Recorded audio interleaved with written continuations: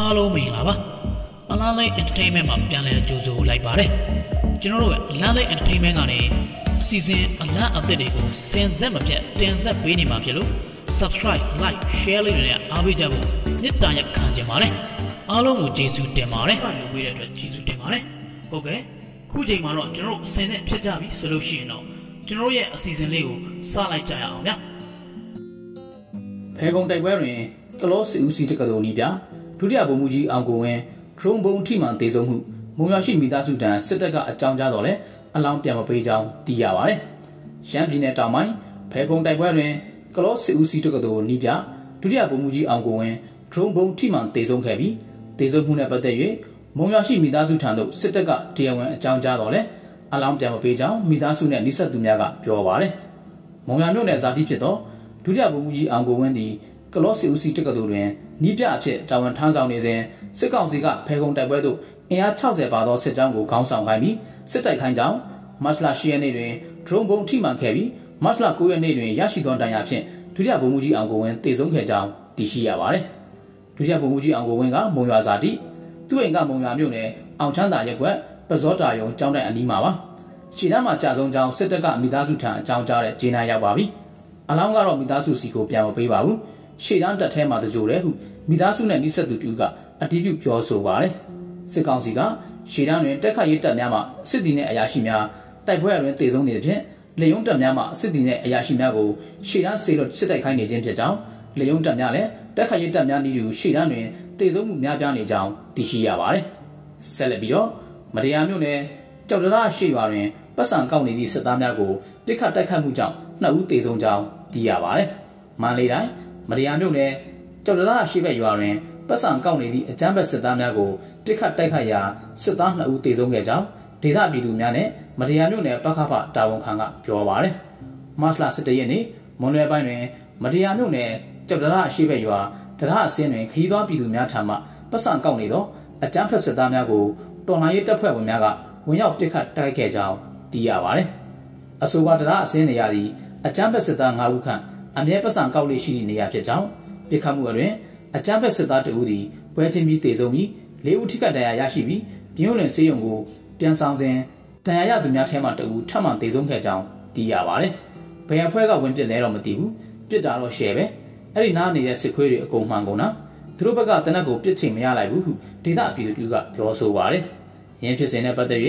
မတရားမြို့နယ်ပကဖတာဝန်ခံကလည်းပြစ်ခတ်တက်ခတ်မှုဖြစ်ပွားသည်ကိုအတည်ပြုပြီး အချက်လက်များကိုမသိရှိရသေးကြောင်းပြောကြားပါတယ်။ဆက်လက်ပြီးတော့ဗမော်မြို့နယ်ကောက်ဆင့်ကျေးရွာကိုစစ်တပ်ကလက်နက်ကြီးဖြင့်ပစ်ခတ်မှုကြောင့်ဦးထေးဆောင်တေဆုံးပြီးတဏှိဖြစ်သူဒဏ်ရာရရှိကြောင်းသိရပါတယ်။ကချင်ပြည်နယ်ဗမော်မြို့နယ်ကောက်ဆင့်ကျေးရွာကိုအကြမ်းဖက်စစ်တပ်ကလက်နက်ကြီးဖြင့်ပစ်ခတ်ခဲ့ရာဦးထေးဆောင်တေဆုံးပြီးတဏှိဖြစ်သူဒဏ်ရာရရှိခဲ့ကြောင်းဒေသနေပြည်သူများကပြောဆိုပါတယ်။မတ်လ17ရက်နေ့ည8နာရီခန့်အချိန်ဗမော်မြို့ရှိအကြမ်းဖက်စစ်ကောင်စီတပ်က ဗမော်မြို့တစ်ဖက်ကမ်းရှိကောက်စစ်ကျေးရွာကိုလက်နက်ကြီးဖြင့်ပစ်ခတ်ခဲ့ရာ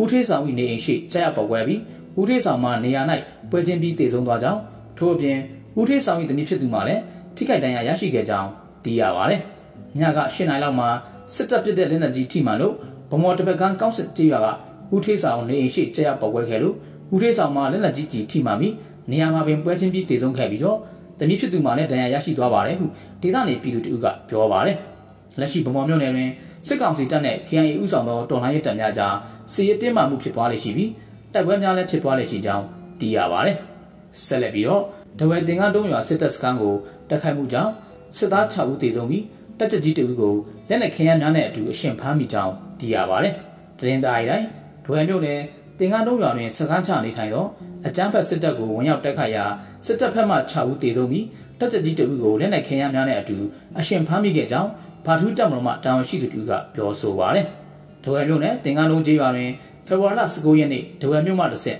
ဒဝယ်ထီကီလန်းအတိုင်းဝင်ရောက်လာသောအကြမ်းဖက်စစ်တပ်၏ခြေလင်းစစ်ကြောင်းနဲ့ကား၁၉စင်းပါစစ်ကားရင်နှန်းသည်တင်ကားလုံးကျေးရွာ၌စကန်းချနေထိုင်စဉ်တော်လှန်ရေးတပ်ဖွဲ့များကဝင်ရောက်တိုက်ခိုက်ခဲ့ရာစစ်သား6ဦးသေဆုံးပြီးတပ်ချက်ကြီးတဦးကိုလက်နက်ခဲယမ်းနဲ့အတူအရှင်ဖမ်းဆီးရမိခဲ့ကြောင်းသိရပါတယ်။တိုက်ခိုက်မှုအတွင်းမှာတော့စစ်ကွေး6កောင်သေတယ်။ဖမ်းဆီးရမိတဲ့တပ်ချက်ကြီးကိုတော့ လက်ရှိကတော့သူ့ကိုချုပ်နှောင်ထားပါတယ်။သူ့ရဲ့လုံခြုံရေးကျန်းမာရေးစစရာအတွက်တော့ကောင်းမွန်စွာနဲ့ပဲစောင့်ရှောက်ပေးထားပါတယ်ဟုဘာထုတက်မတော်မှတာဝန်ရှိသူတူကပြောဆိုပါတယ်။အဆိုပါပြစ်ကတိုက်ခိုက်မှုကိုဗဘာထုတပ်မတော် BHA တဝက်စုပေါင်းစစ်ကြောင်း DCC နဲ့တဝက် Defense Team DDT တပ်ခွဲနှစ်တို့ကပူးပေါင်းလှုပ်ဆောင်ခဲ့ခြင်းဖြစ်ကြောင်းသိရပါတယ်။2024ခုနှစ်အတွင်းအချမ်းဘတ်စစ်တပ်ကိုစစ်ရေးအရှင်မြင့်က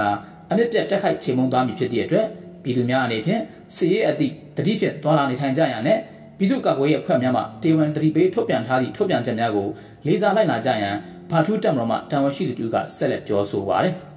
အကြမ်းဖက်စစ်တပ်၏လက်ကင်တို့များဖြစ်သောပြူစောတီများပြည်သူ့စစ်အဖွဲ့ဝင်များနဲ့စစ်ကောင်စီလက်အောက်ခံတပ်ဖွဲ့ဝင်များအနေဖြင့်တနင်္ဂနွေလုံးအတိုင်းအတာကြာရှုံးမှုပေါင်းများစွာဖြင့်ရင်ဆိုင်နေရသည့်အကြမ်းဖက်စစ်တပ်ကိုစွန့်ခွာ၍ပြည်သူ့ရင်ခွင်အများဆုံးခိုလုံဝင်ရောက်ကြပါရန်ဘာထူးတက်မတော်ကတိုက်တွန်းထားပါရယ်ဆက်လက်ပြီးတော့မုံရမြို့နယ်တွင် ကြေးရွာများကိုမိရှုဖျက်ဆီးနေသည့်စစ်တပ်စစ်ကြောင်းအနိကပြစ်ခတ်တက်ခိုက်ကြောင်းသိရပါတယ်။သခိုင်းတိုင်းမုံရမြို့နယ်ကြီးပရုံရွာမှထွက်လာသောအကြမ်းဖက်စစ်တပ်၏အင်အား65ဦးပါစစ်ကြောင်းက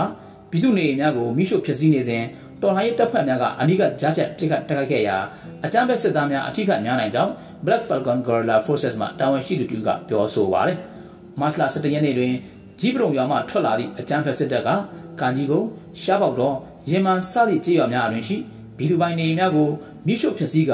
အနိနာရှိကျွော်များကိုထပ်မံမိရှုဖျက်ဆီးစဉ်တော်လှန်ရေးအဖွဲ့များကဝင်ရောက်ပြစ်ခတ်ခဲ့ခြင်းဖြစ်ကြောင်း Black Falcon Guerrilla Forces မှတာဝန်ရှိသူတို့ကပြောကြားပါတယ်။ security ထိခိုက်များမှာပဲဗျ။ဘာလို့လဲဆိုတော့ကျွန်တော်တို့ကဆက်ရောက်တဲ့အနိကပြစ်ခွင့်ရတာသူတို့ကပြန်ပြစ်တယ်ရဲဘော်တွေဘေးကင်းကင်းနဲ့ပြန်ဆုတ်ခွာနိုင်ခဲ့ပါတယ်ဟု Black Falcon Guerrilla Forces မှတာဝန်ရှိသူတို့ကပြောပါတယ်။အဆိုပါတိုက်ခိုက်မှုကို Black Falcon Guerrilla Forces နေမြေခံပခပများပူးပေါင်းကလှုပ်ဆောင်ခဲ့ခြင်းဖြစ်ကြောင်းသိရပါတယ်။ ဆက်လက်ပြီးတော့